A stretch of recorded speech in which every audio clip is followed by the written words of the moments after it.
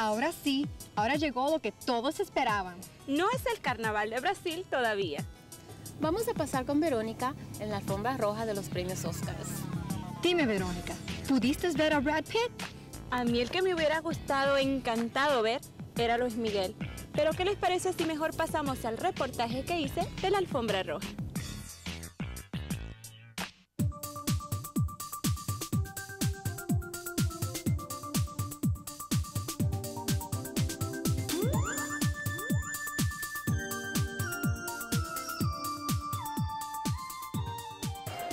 Tal amigos? En este momento me encuentro aquí en la alfombra roja y dentro de algunas horas por aquí van a estar desfilando muchos de los artistas más famosos del mundo para entrar a la ceremonia de los Academy Awards, donde van a estar recibiendo la estatua de los premios Oscar número 77 aquí en Hollywood.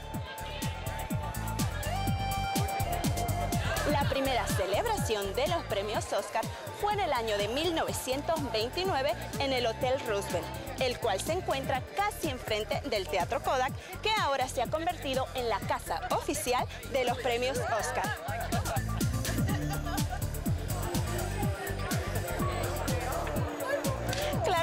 Ustedes en sus casas ya saben quiénes han sido los ganadores de los premios Oscar, ya que estos se entregaron hace ya un tiempito. Pero para mí todavía faltan algunas horas para que todos estos artistas tan famosos comiencen a desfilar por aquí, por la alfombra roja, con esos vestidos de diseñadores. Algunos de los artistas que van a estar aquí este año y muchos de ellos como presentadores son John Travolta, Natalie Portman, Barbara Streisand, Leonardo DiCaprio, P. Diddy, el cantante conocido como Prince y vamos a tener las actuaciones especiales del español Antonio Banderas y el mexicano Carlos Santana. Vamos a ver las preparaciones finales de los premios Oscar 2005, donde se premiará lo mejor del cine del 2004. Veamos. La Academia de Artes y Ciencias Cinematográficas fue organizada en mayo del 1927 y poco después hubo una cena en el Hotel Billmore de Los Ángeles donde discutieron métodos para honrar los logros alcanzados en las diferentes facetas de la producción de películas.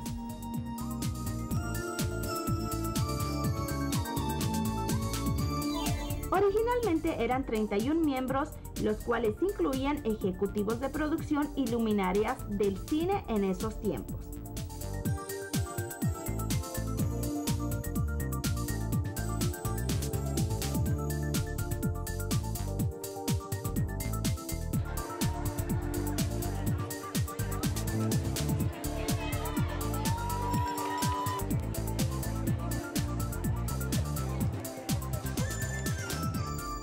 Academia cuenta con más de 6.000 miembros. Douglas Fairbanks fue el primer presidente de la academia y a través de los tiempos entre los presidentes que han habido se encuentra el director Frank Capra y los actores Gregory Peck, Bette Davis, Carl Malden y otros.